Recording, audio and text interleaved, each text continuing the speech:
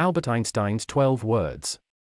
When we say Albert Einstein, of course, we all think of the famous E equals mc squared theory.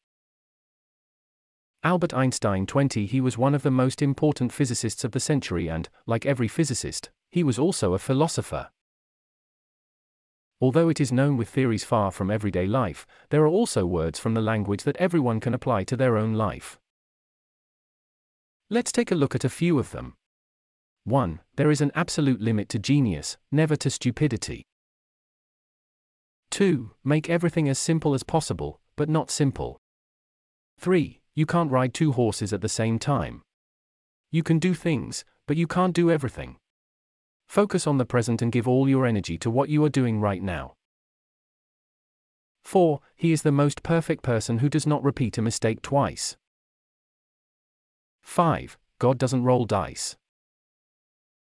6. Nationalism is a childish disease. The measles of humanity. 7. It's not that I'm that smart, it's just that I focus a little more on the problems.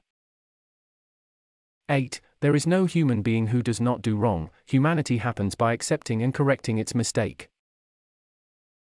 9. Focus on the present. When kissing a beautiful girl, a person driving a neat car does not give the kiss the attention it deserves.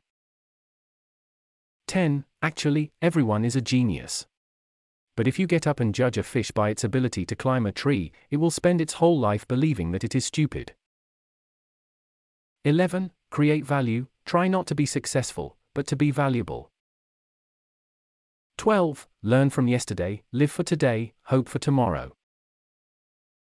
Thanks for watching. Please do not forget to follow and subscribe.